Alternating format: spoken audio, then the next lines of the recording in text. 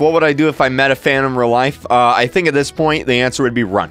I would run really fast in the opposite direction. If you enjoyed this video, though, go ahead, hit that subscribe button. Otherwise, I'm gonna go work at McDonald's. You have five seconds. Subscribe, or else, or else I quit right now. Go, go flip burgers at McDonald's. I'll see you guys in the next video.